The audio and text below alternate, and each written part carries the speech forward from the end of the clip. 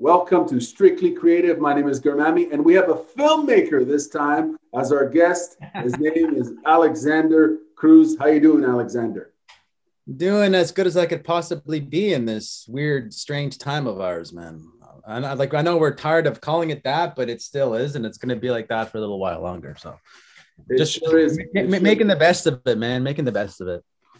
For sure, bro, and, and we appreciate your time here. This is uh, it's going to be a fun conversation. Speaking yeah. to to a filmmaker, a visual storyteller. First question I have for you, sir: How did you get involved in visual storytelling? What motivated you? You know, I've uh, thought about that for a little while, and it's like the the, the the the more that you get into it, the more of a mystery it really is. Like you know, I've been drawing since I was a kid. Well, I used to draw a lot more when I was a kid, but you know, I had access to a camera. We had a VHS camera at home, and we were one of the few families that had one. Like it was a shared camera, and I used to make short films and stuff like that. But you know, I, as to why I pursued it though, and why I say my brother and my sister didn't pursue it, I don't know. You know what I mean? It's just an inclination, man.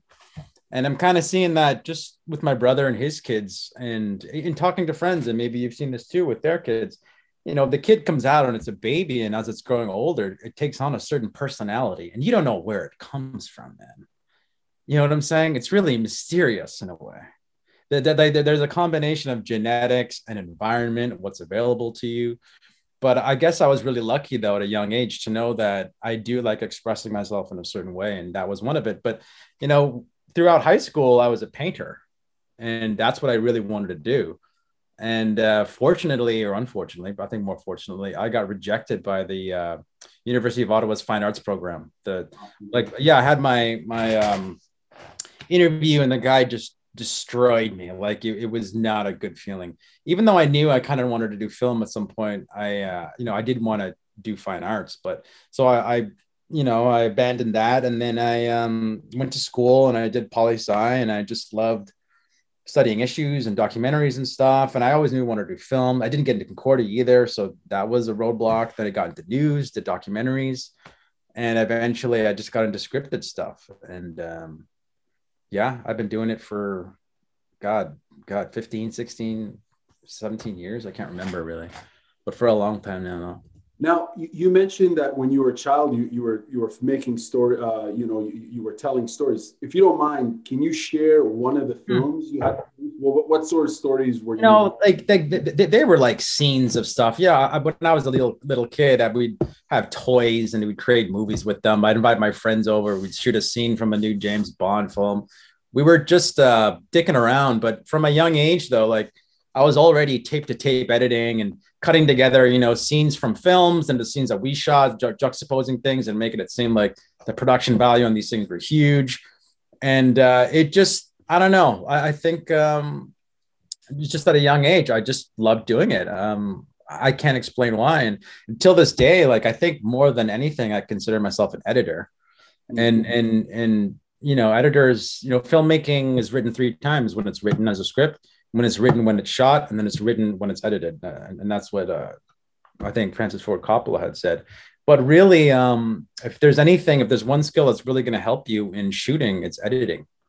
As a director like i'm i'm not a diva in that sense. I'm, I'm just shooting to edit. I'm just getting what i need to get right. in post. And in post like post is kind of like you know it, it's a feeling that i have when i was a kid. It's like you know you're in the the kitchen and you're looking through the oven there and you're seeing that cake rise.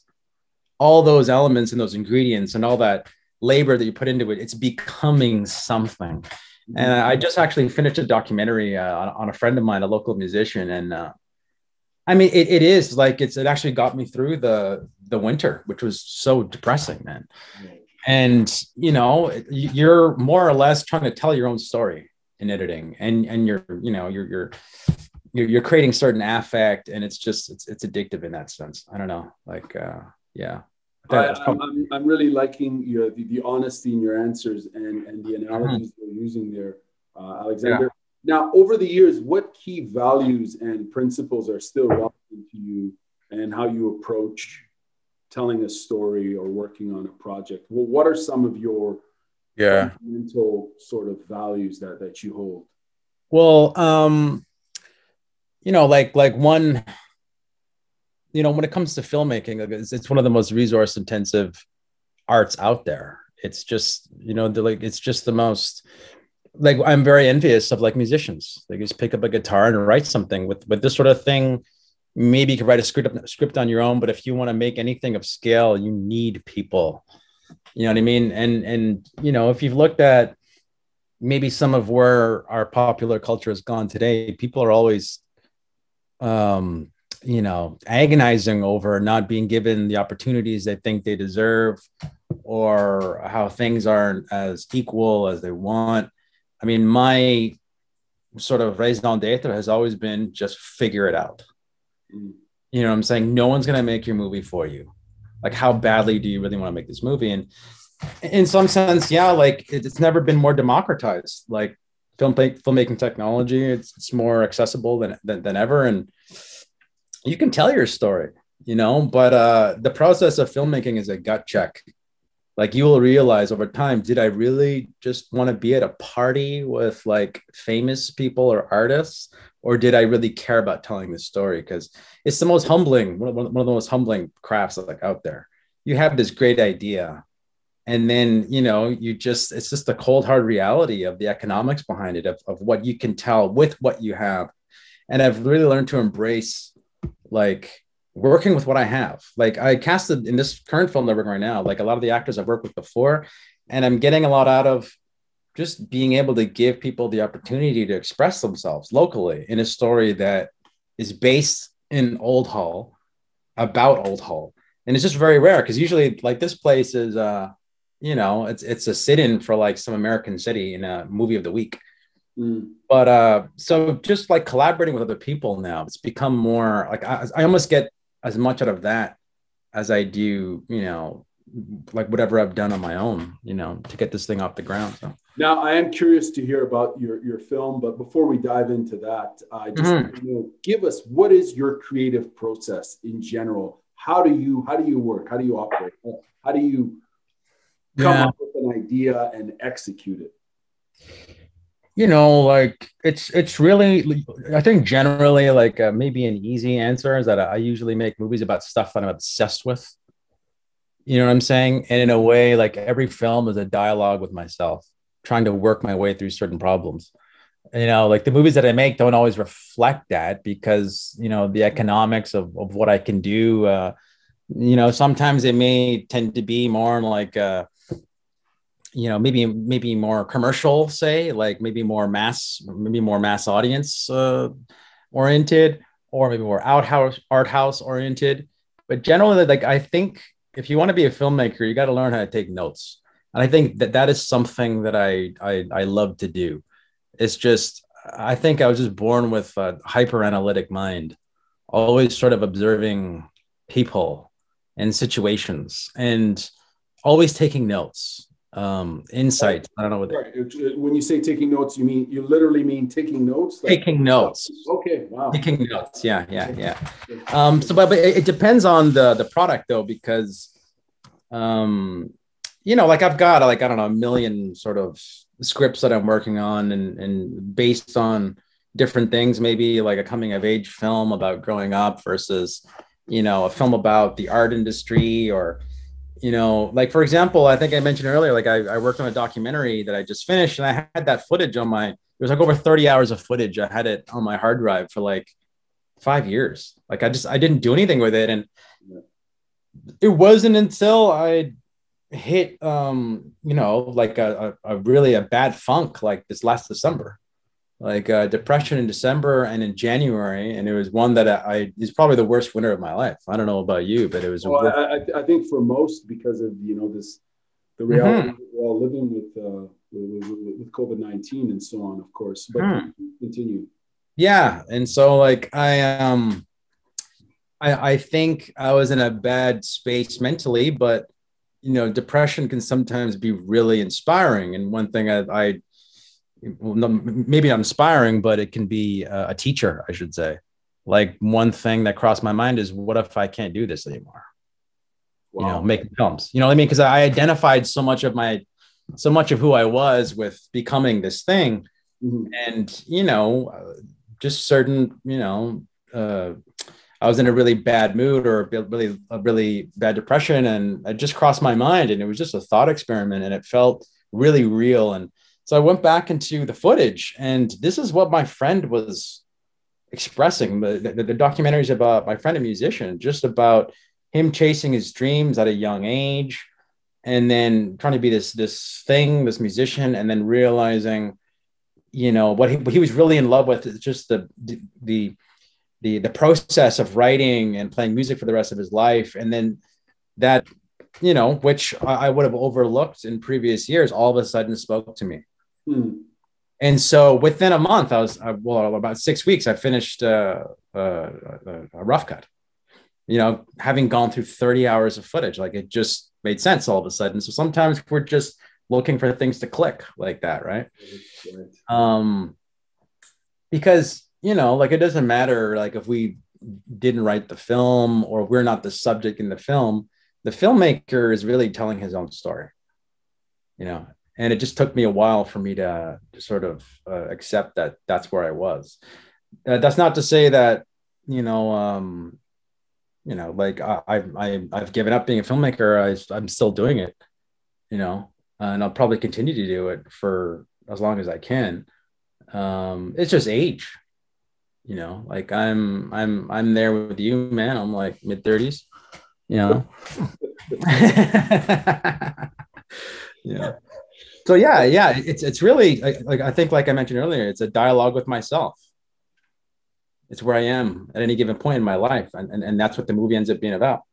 In that dialogue and if, if you don't mind i'd like to go back to to december uh, because mm. it's it's um, in that dialogue with oneself as far as mm-hmm. the, the need to to create and be just the need to tell a story, to create and and and to share yeah. dialogue with oneself. How much is being creative? How much is that therapeutic for for people and and for you? Like, in other words, you know, the the the process of creating, be it a film, writing a story, a script, and so on what what does that do for you emotionally in terms of when you feel like you're mm-hmm. uh, you're feeling you know down? I think yeah. most, most Canadian most, most people get depressed around mm-hmm. seasonal depression or whatever they call yeah. it. Uh, don't quote me on that. Uh, yeah.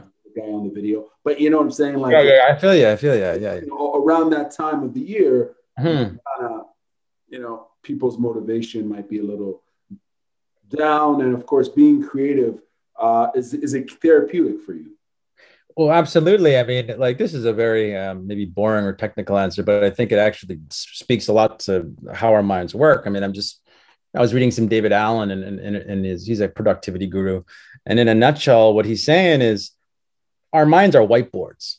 They're not meant to hold all these things in it at once. Like I think science says you can hold like seven things in your mind at once. When you have too many things in there, you just get depressed you know what I mean? You're, you're, you're trying to draw associations, you're trying to problem solve. It's just you're overwhelmed. There's not enough bandwidth in that.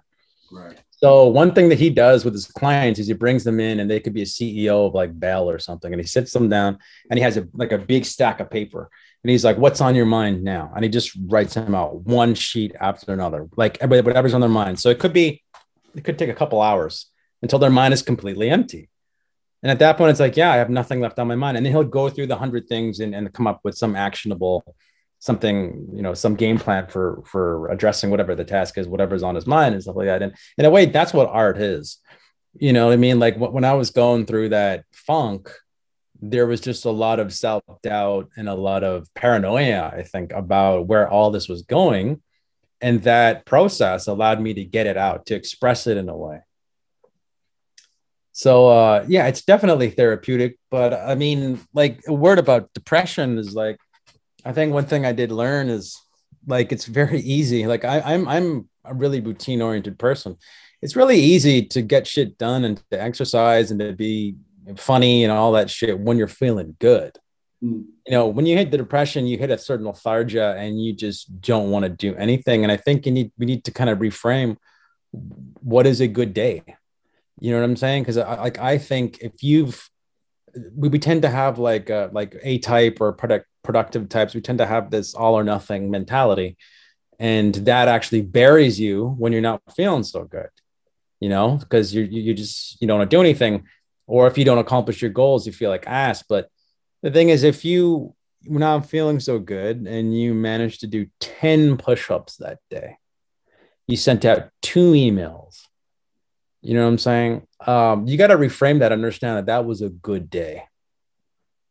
You know what I'm saying? Mm-hmm. That was a good fucking day as opposed to what it's some other day where you you know you you write five pages of your script you finish the rough draft you're uh you know you're worked out like your max said, you're you're going out to have beers afterwards you know like generally when we do finish something that's because of a million baby steps that came before it and we just sort of put the you know the, this the, you know the, the, seal on there and it's like you're you're done. But i i think um you know it's in those moments when when you're zapped of energy that you you, you really is your opportunity to to really test yourself to really see what you're made of in a way. And you may not have any piss and vinegar and and it's good to just kind of acknowledge that and to know that and, and to just appreciate what you can do in any given moment I, I think i think that's the good mindset to pull yourself out of that funk you know yeah, I know it's it, it sounds like it's it's a good way to kind of instill that day to day balance and, and to check in on on yourself right uh, every day and just mm-hmm. find that that that peace of mind and, and that balance. And I think all creative people uh, can can relate to those struggles of you know being somewhat hyper perform, uh, performing at a high level one day and then maybe not feeling so productive on the other. And you know i have so many questions to, to ask you on on just that topic alone. Yeah. Shoot man. and, and, and like before i get you know I'll, I'll, ask you this question and then i'll ask you about your project because i'm really curious to hear about what you're currently working on this film that's set mm. in hull quebec canada. Now mm.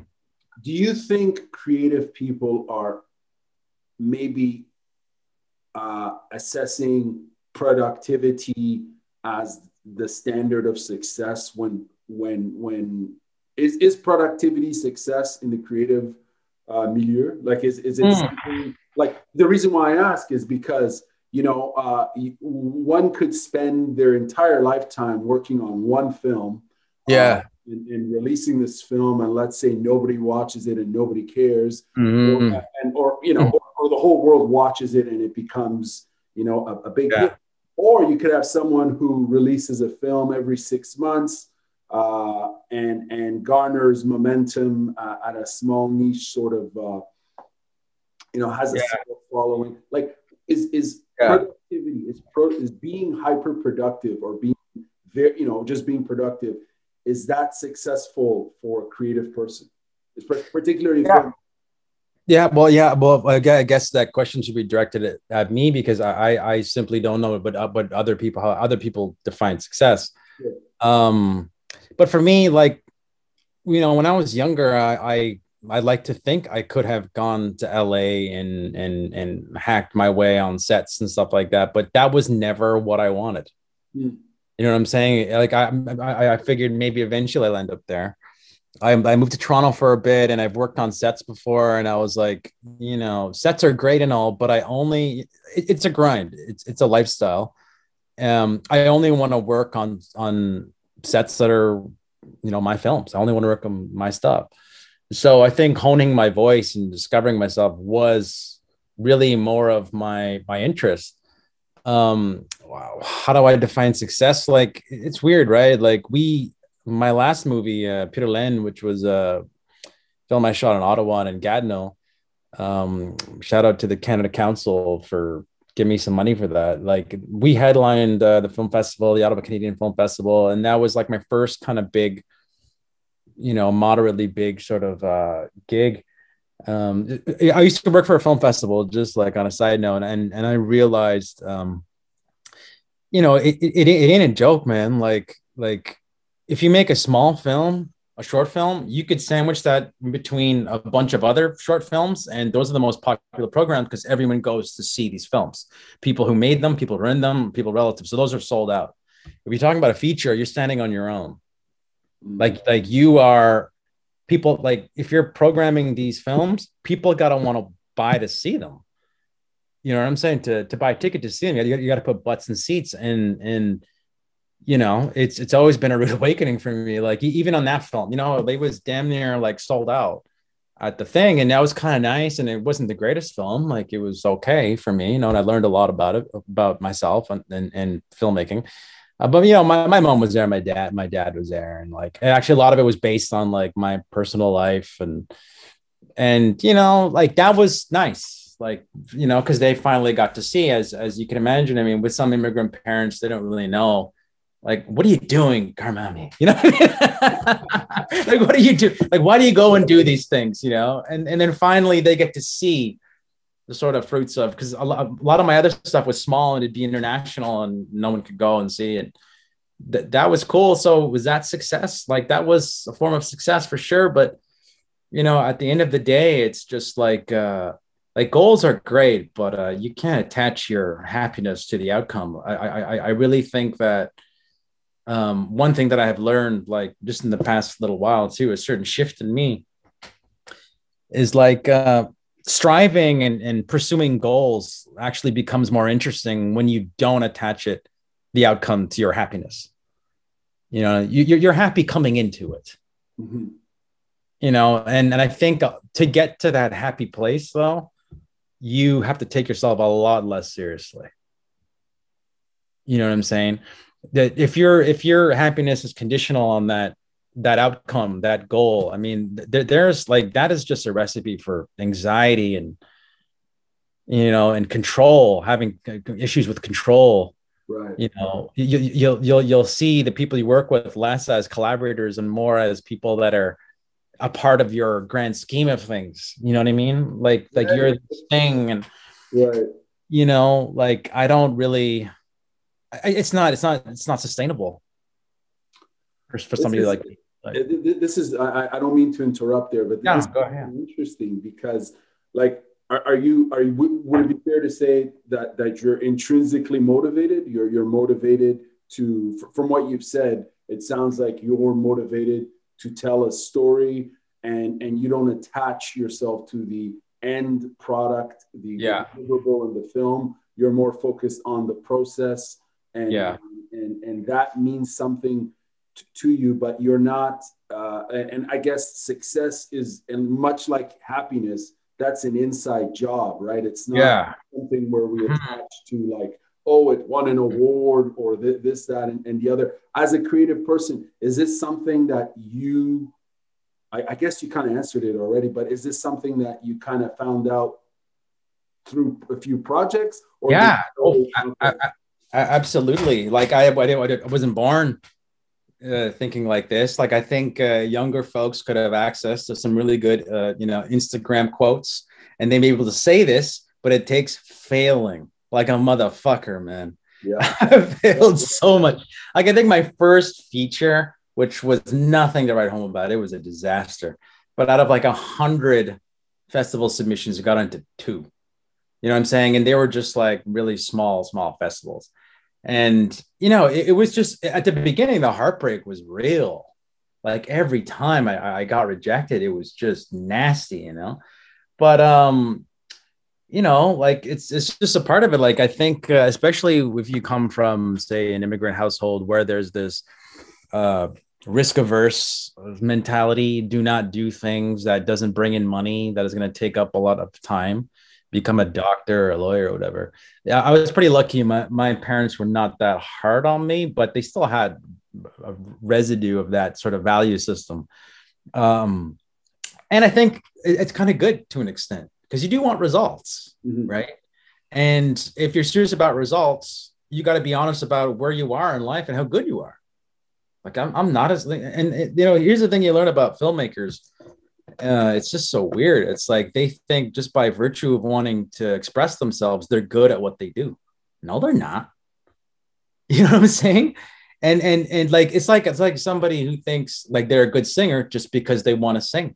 Right. You gotta learn this shit. You gotta, you know, you gotta you gotta learn like like storytelling models and and and the structures, three act structures. You gotta you gotta break, you gotta read scripts and break them down so you could write a script and i think that's something i kind of learned even later on in life like you know in my 30s like even just recently i've taken writing more seriously um yeah i think i don't know what was the question isn't this a process continuous though? Like, isn't it fair to say like that this mm-hmm. process of learning and refining one's uh, trade and and and art, yeah. like that's a continuous. Absolutely, and failure is progress. Mm-hmm. Like you have to fail, and I've just seen so many artists, filmmakers, and such, and and uh, it's just they either failed or they weren't treated right by somebody they worked with and they just collapse. And i understand like i've been on sets where you know i've just killed myself to find the money to pay people. And i've been like you know just walked on by ungrateful people. And you know when and, and those situations happen. I think we've talked about this actually at some point earlier. And it happens but it's just like in those moments, you gotta look at yourself. Like I think I, I, tend to think of myself as an old man. Like if I was like 65 or whatever, 70, and then some kid comes up to me and says, "I used to be a filmmaker," and I'm like, "Yeah," and they say, "Well, why'd you quit?" Mm-hmm. And if my answer was be, if I were gonna be honest with myself, my answer was because that person mouthed off at me. Uh, I wouldn't. It wouldn't feel good. Right. You know I'm saying it wouldn't feel good. And and the truth is when some when a lot of people say why they quit, they'll tend to sort of exaggerate how bad the situation was just to kind of justify having made the decision to quit. Right. You know what I'm saying? And it just may very well be, you know, like if if I lose the love for this or it's just not me anymore, it's like that'll be it, and it'll be it'll be okay. I'll I'll, I'll walk away from it, you know. Um, but otherwise, I, I think one of the things that really keeps me going, and it's just a weird thing. It's just like this is a little voice in my head or a feeling that says, "Why not do it? Just why not do it? Like, what else are you doing? You know, I'm not married, no I'm many kids. Like, why not just fucking do it?" You know? And I mean, like the the the telling of the story is is I think in any art form, I'm I'm just going to like I, I think just getting it done is is probably the, the, the, hardest part of it. You know, if it's yeah. publishing your, your writing, your poetry, mm-hmm. uh, you know, if, if it's getting your film done, if it's, you know, attending that recital, I think just getting it done is, is, is very challenging for, for creatives because a lot tends to be at risk. And as you mentioned, the, the fear of failure for, for a lot averts them from even trying, you know, a, lot of mm. people give up on, on, on their creativity be it the development of, of their art, uh, the, the skill sets involved in their art, or, or trying to take a different approach. You know, I guess it's, it's different. It's a case by case sort of yeah. different for different people. But now, Alexander, tell us about this film you're currently working on. I'm yeah. Really about it. Yeah, it's interesting. Like uh, I had a lot of ideas, and it's just they somehow they they work themselves out in the, the, this story about a cleaning lady who's a drug addict who act you know for for whatever reason got her sister involved in drugs her sister goes missing turns up dead and then this cleaning lady makes it her mission to find whoever killed her wow so you know i, I think when when you're making a film you've got to think of things from like so many different facets. Like it's not just uh, say writing a novel and you let your imagination go. You have to be really practical in filmmaking. So I knew I wanted to film something in my hood of Hull. You know what I'm saying? You know, the, you, which is a legendary, legendary neighborhood. If, if anyone, yeah, this is uh, this building is so old, it's like falling apart. It's awesome though, but as, yeah. as a storyteller, I'm sure for you, oh yeah, you know, each time you look around, you could see a scene. But mm-hmm. please, to, to tell us more about this film. Yeah, well, like to, to, just to kind of give you a sense of like the mentality, I think you kind of have to have. It's like there's a joke about the the producer who walks into a writer's room and then he drops a bunch of shit on the table, random shit, and he says, "This is this is what I can get for free. What's the movie about?" Wow. You know what I'm saying? And and so like the writer, I'm looking at my hood this is what I can get for free. Right. You know what I'm saying? And my hood is sick. Like, I mean, it's been used in uh what was it? like not too long ago, it was in On the Road, that Hollywood film. It doubled as like a 1950s American town. It's been in I don't know how many, but it's just I want the seedy side of this of this this city. You know what I'm saying? And there's what else is free? There's a there's a there's a drug problem here, man. Oh, is there? Yeah, yeah, there's just there's a lot of junkies around here. It's known as being a shady hood. So a lot of the characters that I came it's up got with, personality though. oh yeah, a lot of texture. You know, personality and, and, and an interesting energy. But uh, yeah, sorry, I, I don't mean to interrupt. Yeah. Oh no, yeah, it's just super diverse as well. And so basically, the characters that I came up with, I didn't really come up with. They're just they're in the, they're in town. Like this is Yeah. you know like the cleaning lady the there, there there's uh you know this this filipino who also works for the cleaning company. So uh, the, the, the, the, the story's based around kind of this cleaning company and and um the drama that goes down there and um, there's a lot of side stories and basically she's trying to find out who's uh, killed her sister. I can't really talk say too much about it. But uh that's where it's at. And you know, uh, I think it was maybe after the first draft, I talked to my production manager and she said, you know what? If you're going to convince some of these juries to give you money, uh, Canada Council, actually, we were successful with them, thankfully. So we have some funding for this. She, she, she told me you should make it uh, COVID friendly. And so, so because this was last year, right? And I'm like, oh shit, you know, since I was working at home, I was just pounding out the script while doing the video editing and shit for, for my other job. And so I, uh, I figured, you know what? Yeah, let's just write it into the script. And, and, and it became a crucial part of the story, which is that this cleaning company is going down under because government offices are empty and no one needs their services. So not only is she, you know, trying to find her uh, her sister's killer, everyone's losing their job and everyone's just it's a dog eat dog at this company, right? Yeah. So I wrote that in there, and you know, I I think that's kind of the approach when you're making an indie film, which is you're trying to create a perfect storm of everything, making this thing as timely and as unique and as and, and as important as possible in this moment. So a lot of the actors I work with on Pur Laine, you know what I mean? I brought back a lot of the same people. I want everybody local. You know what I'm saying?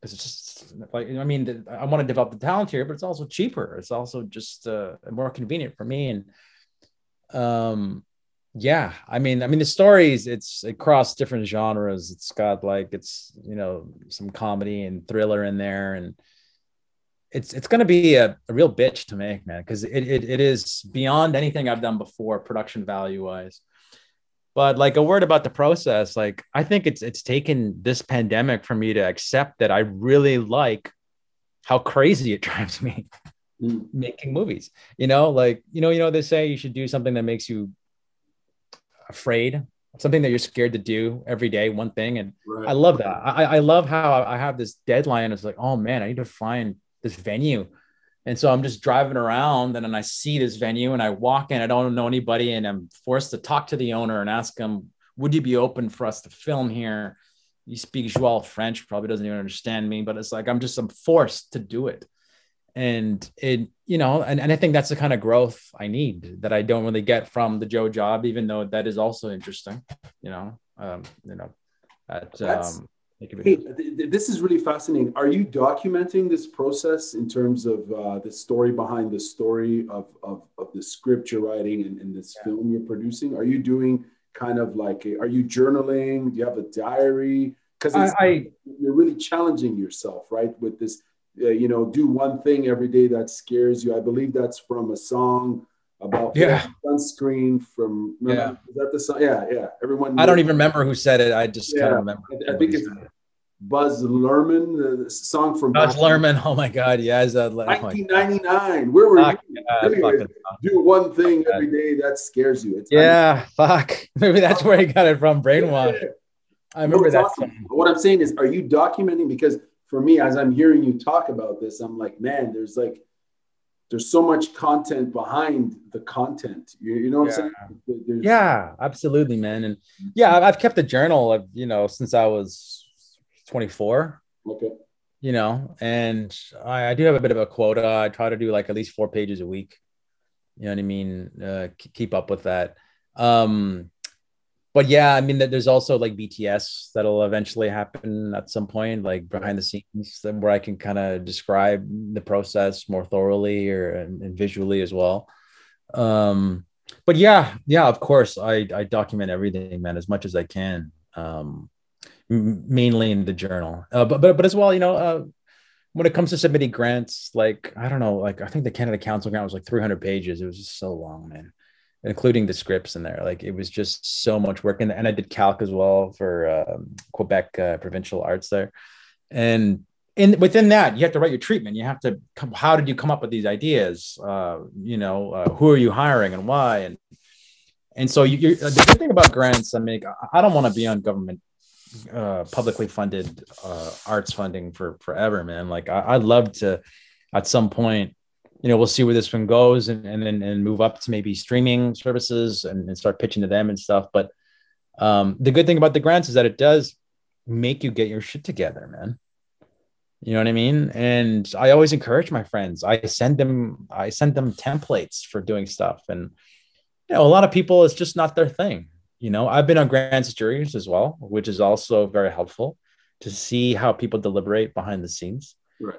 You know, everything from you know like the, the, sort of trends that that that, that come out uh, in, in film ideas to the ideologies behind them. It's, it's really interesting when you're on juries and you have artists that would be on virtually every protest you can imagine but then behind the scenes they'll read something that you know uh, somebody who references their identity and they just throw it out because the movie sucks. You know what i mean? Like like like the cash value of, of some of these ideas in when it comes to deliberating with like uh um, which ideas deserve money and stuff like that.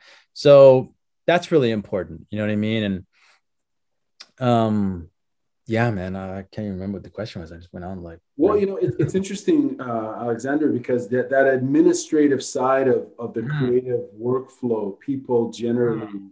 detest. You know. Oh yeah. I mean, the, you know, you mentioned 300 word or 300 page document to fill out. Like that alone almost gave me a heart attack and a stroke. You know, you know what I'm mm-hmm. saying? Like 300 pages. Holy yeah. man. But it is what it is. It's you know, as you mentioned, you got to do the work, and there's that administrative mm-hmm. aspect uh, that pertains to to the financing. That's so that's extremely crucial to you, your line of work as a creative person. Yeah. Question that I have for you is how do you motivate your crew? You've worked with this crew mm-hmm. for and the talent to perform at their best. What's your approach? I think I've witnessed your your work. Uh, you know, I've witnessed you direct before. Right. But right. Tell me about your style yeah, yeah. of leadership uh, in terms of yeah. how you direct and lead a team. Yeah. Yeah, but just just a word about like what you're saying about the giving you a heart attack. I mean, like it's not like I'm this like machine that just doesn't stop. Like like the thing is, after I finished Pur Laine and that did a festival uh, circuit for like a year, I, I, took a like a year off. I, I was burned out for a year. Wow. I couldn't do anything. I couldn't do any other creative work, and I had serious doubts of whether or not I want to continue with this because the thing did not, it did, didn't turn out the way I wanted to, right? But then you know the inclination just comes back. The minute I'm not burned out, I want to do it again. But but as for like directing like people and hiring people, like I haven't hired my crew yet. Like I have a couple main people on right now that I've worked with that are just solid professionals. Like like the thing is when it comes to like casting and and um and, and crew, like like nine when it comes to directing, like actors, like 90% of the job is casting. Hmm. Like smart directors hire people, they have to direct the least. They're just already there. Right. You know what I'm saying? So when it comes to the craftsman, it's like I want to hire people that know what they're doing. Like I, am I'm going to be the weak link there. You know what I'm saying? Like uh, I'll have certain expectations, uh, a certain schedule that I've got to meet. That and and we'll have to like that's really the the the, the ass to the fire. But otherwise, it's like uh, you know, like I need them, and um, I, I try to stay out of their way.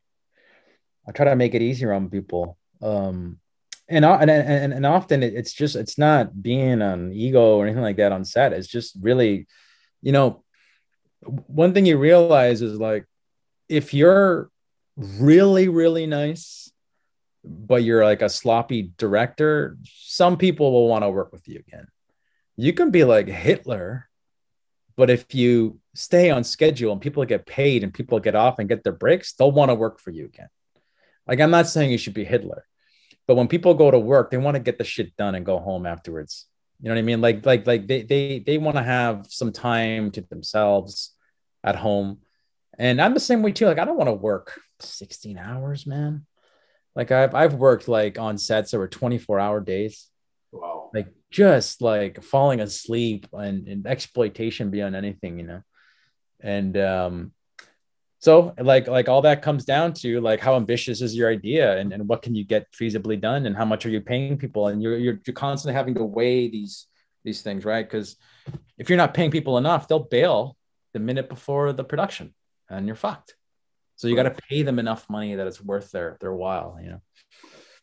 Yeah what are some of the most, uh, from your experience, what would you say are some of the most misunderstood aspects of, of filmmaking and, and visual storytelling for the non-initiated, for, for people who don't know, uh, who've never, you know, worked on a video project or a film mm-hmm. or whatever? What would you tell them is, is the most misunderstood aspect of the business? Like, well, I think we, we alluded to it earlier, like a good maybe like if it takes three years to make a film, maybe a good like 90% of it is administrative. Mm. You know what I'm saying? Like like everyone, you know, people love the idea of being a director, like wearing a, a scarf in the middle of summer and having a loud mouth and yelling at people and just looking like a badass, some sort of a Frenchy badass. And that's cool too. But honestly, like I'm so tired when I'm on a set. I'm wearing like a shitty t-shirt and some beat up jeans. And I'm just like looking at the skit and just pumping it out maybe one day when I could hire more assistants, I'll, I'll, I'll wear that scarf in the middle of summer, that that fouloise, whatever it's called, the French thing. But it's like otherwise, um, you know, like w- w- during Pur Laine, like I was just so tired, man. Like, I mean, I'd just be laying on my bed and I'd be like, no one's because you can't afford to hire more people. No one's going to do that budget. You know what I'm saying? No one's going to do your bookkeeping in, in, in a certain moment. And it's like, I did have a bookkeeper, but I had to do some stuff afterwards. And it's like, if you don't do it, it doesn't get done. It's just the math is there. You know what I'm saying? It, it's not just the coming up with the great ideas. And, and you know what, what one thing I've learned though is I think you learn to respect yourself more and people do respect you more uh, generally. It, it's almost like being a producer who has, who has had no technical experience telling people to do things versus being from that background, being a technical producer, carrying the gear around up the hill, being on those hot days, shooting in the rain. People are more apt to take advice, to take direction from that person because they've been there. You know what I'm saying? And uh, and sometimes you, you, you could just see through people in, in a way, and, and and that kind of feeds your instinct, you know, to, to know who to work with and who not to work with, who's real, who's not, you know. Um, it's interesting yeah. because I, I have uh, as I, mentioned before, I've I've seen you in action d- directly mm. uh, before, and we don't have to talk about the, the, that that project or, or whatever. Mm. Something uh, on the commercial side, mm. I suppose. But the point is, I see, and you were very. It seemed you were very, uh, very relaxed. You were calm. You know what I mean? Mm-hmm. Very chill. You were telling mm-hmm. people what, what to do and it seemed at least from from my perspective like like you you were enjoying the process but you were not stressed you were not uh, annoyed you knew what you were doing and the people mm-hmm. around you were were collaborative and, and following that mm-hmm. direction can you tell us a, a funny story in regards to the dynamic of, of working on on projects and how sometimes you know things can go sideways uh, I don't know if that's ever ha- happened to yeah. you. Yeah. Oh man. Like, well, I mean, I did work. Like, I worked for a very, probably one of the more successful directors out of the Philippines. He'll remain nameless. I wouldn't work with the guy again, but you know, he had this idea of making, maybe doing the um, the the Inland Empire sort of process of filmmaking, which is like would like David Lynch made a movie or he made it up as he went along and this guy this guy thought you know um, i'm going to do that. And he had a writer uh, at his hip and it's it's just the blind leading the blind man. You know what i mean? Like it was just such a bad fucking experience. Um I, I was never that big on the guy's storytelling instincts to begin with.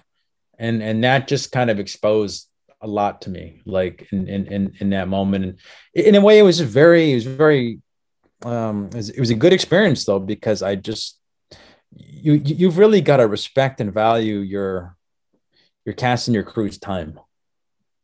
You know what I'm saying? Because you know, across the board, unless you're you're got a big budget or whatever, and they're all unionized, like no one's really getting paid that much money to do this. And um, you know, especially out there, like that was one of the huge. I should say, yeah, I've worked and lived in the Philippines for a while and worked on films out there. Um, the classism and uh, the exploitation was just like something that I, you know, I think scarred me. Um, yeah, it was just so bad, and you know, like like when when you got people coming out, and and, and I, th- I think maybe what you saw was that like, uh, you know, a director shoots to edit, so a director who knows what shots he needs to tell the story, and that's exactly what I was doing. It was just I was I, I knew I needed I had a little shot list, and I knew I needed, you know, A to Z to tell the story, and um, you know, it was really nothing fancy. I just was trying to bang out what I needed, and that's that's actually more of of what I uh, of what I do. Uh, um, well, that is how I, I work, I should say, on like scripted projects, like outside of work and stuff like that. Um, at this level, though, there's a lot more maybe hand holding um, before uh, the shoot. So there's a lot of rehearsals and stuff like that. And you know, I think I think in those moments, that's when the director comes out. Like in in in Pur Laine, like I I cast uh, uh, Celestine Caravaggio, and she hadn't really had much acting experience and and it was just because the, the lead actress i had was in the united states and it was very hard to bring her over. I i literally had to cast this this this woman really early. And in in the process like some people would have called it brutal but like I was just very like frank and honest about you know how what the expectations were and what she could do and, and trying to, to to grow her her range and stuff like that. And you know while, while the movie in the end wasn't you know, did this, you know, fucking incredible film. I mean, she won Best Actress at at least one film festival, and she's actually she's she's been really successful like, ever since. She's been on a bunch of commercials and a bunch of TV shows, and that actually made me feel really good. You know, like I um played a part in her in her development and success. You know, um, so yeah, like before the, the, the actual filming like it's pretty clear. Like it only maybe it'll take me maybe two or three sessions with the main actors to kind of figure out what the range is what the tone is of the film and then everybody else i'll maybe have one session with. And then so when, when we're there it's just banging it out man. You know what i'm saying? Just ticking ticking ticking those shots off like every scene off and it's not about fucking around you know? Like at some point yeah it'll be great. Like spielberg was like you know i i don't have uh I don't rehearse with Tom Hanks and Meryl Streep's uh, on, on on the post the movie. I just I don't like to rehearse because you know sometimes it would have been a great take, so I'll just sort of shoot it. Well, that's great if you're working with them. Like what the fuck, man? I could give them any script and they'll make it good. But when you're when you're working with amateurs, right? You know what I mean, and people who don't have much experience, you, you gotta make sure that they know you know what they're getting into. For sure. Now, what's the most interesting and unique experience you've ever witnessed in your line of work? Uh, you know, like I've had a lot of cool experiences. Like I remember in the Philippines, I filmed in this occult village, and that was really odd. It was interesting. I filmed a live birth. Like for this film, they needed a cutaway because the lead actress was was pregnant in the thing, and then but they wanted an actual baby coming out. So I was like kind of kind of on uh, standby at the studio, but uh, thankfully, like the Philippines is overpopulated, so babies are always been popping up. So they throw me in the van, ladies waiting, holding in the baby, and I wow. filmed. And I was like, "Oh my god!" I had like a 50 mil prime, and I was right there. So it was at Venice actually that film, um, and apparently did pretty good. I didn't. I saw it like once, long time ago. It was pretty good. Um, stuff like that. I mean, you know, doing short documentaries is, is often really cool. Like, you know, I was uh, a friend of mine invited me out to a fiesta in the Philippines, and we are hanging out in Manila, and this just this this gang rumble broke out, and I was filming all of it, and it was crazy. It ended up being this experimental short that kind of went all over the place. I had legs. You know, one day I woke up. It was my birthday. I read the paper, and th- there was this guy who was uh, this old guy he was blind his whole life. He fell down the stairs and then he went to the hospital. They fixed his face and told him, You're not really blind, actually. Uh, you just have bad cataracts. So it took him out for the 68, he could see for the first time. So I, I did a documentary on him. You know, like the, the, possibilities are endless. Like I think people are like, there, there's so many interesting stories out there. Right. If this thing never worked out, if I tanked, I would always be looking for small stories to tell like that, you know.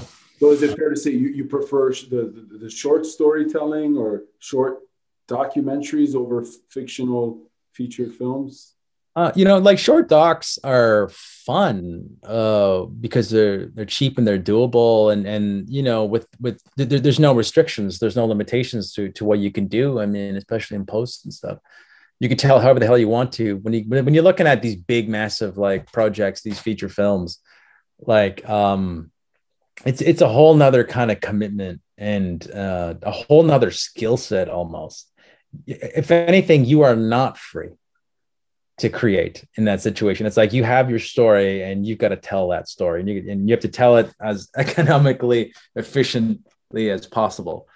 Um, so, I mean, I, I, enjoy all of it. It's, it's usually when I'm burned out after a huge project, I'll maybe do something small, you know what I mean? Just to kind of keep things going. And I think that's really important too, not to totally, um, you know, stop your, your practice you know, whatever it is, you know, like I've done little things like street photography as well, and you know, some drawing and stuff like that. So, you still, uh, like you still paint? I haven't painted in a long time, but I'm really, I, I, I started drawing again, and I could see myself getting back into painting at some point. Like I think it's that is liberating compared to filmmaking. Is know? there any transferability uh, transferability of skills uh, from you know painting? uh, drawing to visual storytelling? Is there any you know, I, classes over? Well, well, I think definitely when it comes to composition, you know, um, you know, photography, obviously that's obvious. You know what I mean? Like, uh, it, it just it translates. But I, I think it, if there's any relation, it's um, it's just a, a certain uh, appreciation for expression. And, and that's it, you know. Do you have a community of fellow filmmakers that you can rely, rely on for feedback, support, uh, and, and all that sort of stuff? Or, or do you roll solo as, as a creative person? You know, I, I do know, like, for example, when I've got a synopsis written out, like I figured out the, the, the, the where this story is going, like the, like the, the basic DNA of the story, I will send that to, to, to various people who I think will give me some good feedback, something important um, th- that I could use. And, and really what you're looking for is for them to, to, to rip it apart. You know what I mean? Like you, you want them to point out where, uh, um, you know, where it doesn't make sense or, or where it could be strengthened and, you know, where it's weak because this ain't like writing a book you know, I, I could write a book afterwards and fine, but when you're looking at a film, it's like you you are you're spending a lot of money and and you're you're you're it's just it's so much more physically taxing. The stakes are so much higher to get it right. Mm-hmm. and and that's where it all starts a script. You know what i mean? Um yeah. Now alexander I know earlier on you, you kind of allude, excuse me, you kind of alluded to this, but I'm, I'm going to ask you: Have you ever considered like quitting visual storytelling and filmmaking? Has that has that thought crossed your mind? Uh, if so, like like tell us the, the that story as to uh, mm-hmm. you know as, as a creative person in, in this practice that you invested x amount of years in like have you thought of just saying okay I've had enough of this. I'm moving on. Has that ever happened to you? Like I've, uh, you know, I've been on hiatus from it, and I've I've been burned out from it, and yeah, I, I have considered stopping it, but even in those moments, you know what I mean. It's like I, know it's only a matter of time where this thing comes back, and uh, you know what? like if I had a kid or something like that right now, I don't know, knock somebody up and I had to, you know, you know, like settle down and really focus on bringing in that paycheck, uh, the priorities would change, no doubt. Uh, but I think that why not is always there. It's like it's it's what uh I don't know, it's my raison d'etre, it's my it's my thing, dude. Like just telling stories and I can't explain why, you know what I mean? Um what would you be doing if you weren't telling stories? That is a great that that is a great question and I, I think that's that was maybe the crux of my crises like uh December January what would I do and um I, you know, it, it's there, there are certain things like, for example, I used to play guitar, and then I stopped. You know, maybe around 19, I just wasn't going the way I wanted to, and I never regretted stopping. Uh, I'd like to pick it up every now and then, like uh, get back into it, great. But uh, you know, when you fall out of love with something, leaving it is not a hard thing. If it's hard, the chances are you're either leaving it against your will or uh, you don't want to leave it. You, you, you, you know so um yeah I, I've I have no idea man. Like like like I think uh, I've I've gone through a process of like sort of learning to kind of let go from the identity of being a filmmaker and just just letting it be what it is which is something that I enjoy doing. And I don't know really what the result of that is going to be I I, I can see a shift in, in me right now, I'm not as anxious at this point in filmmaking. And, and maybe it's because the ego's gotten out of the way and it's just uh, enjoying the process, you know? What would I do? I don't know, man. Like, um, I, have no idea. Like, uh, I've got my day job, of course. Like, maybe I would do something boring within, you know, the within the the state, you know.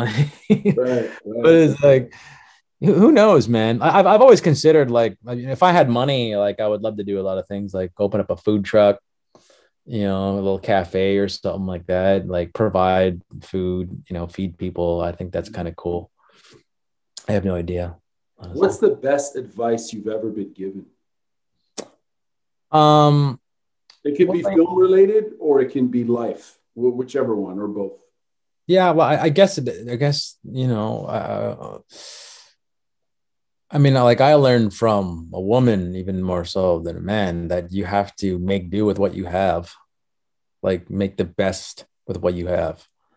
Um, and I think that is applicable to everything, you know, and and and and be grateful for what you have.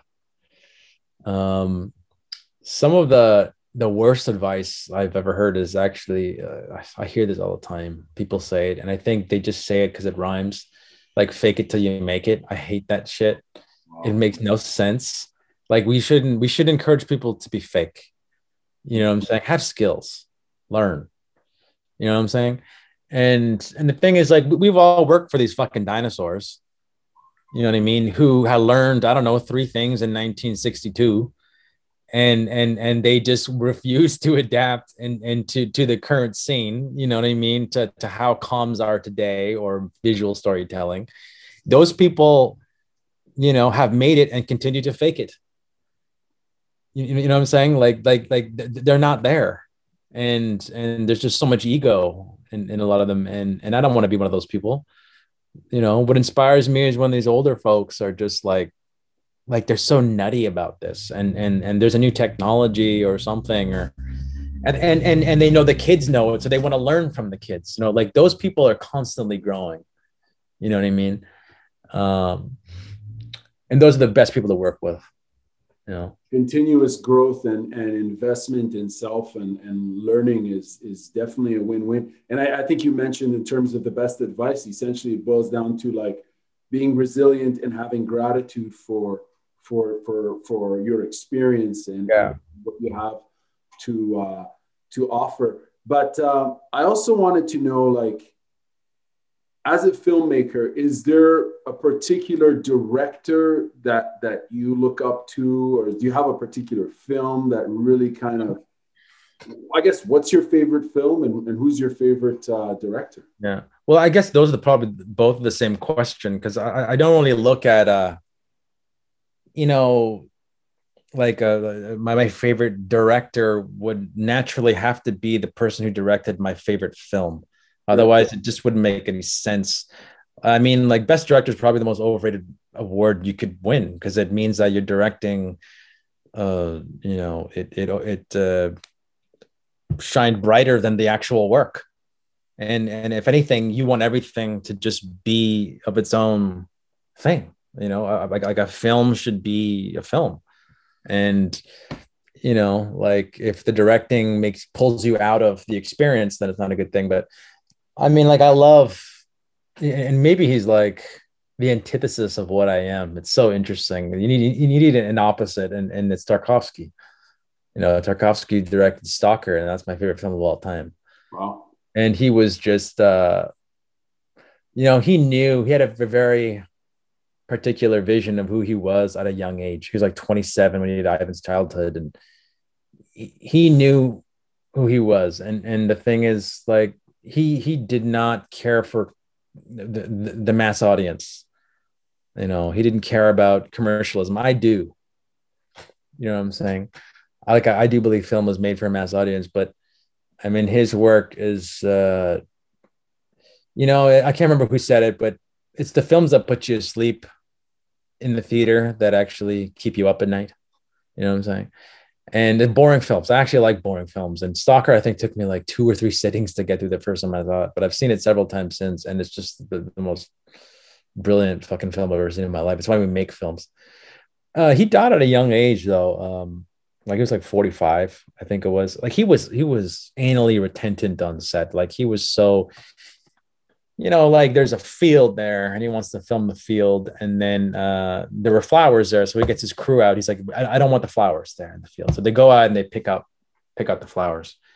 And they're like are we ready to shoot? And he's like no we're not ready to shoot. He's like why? And he's like because it looks like you picked the flowers.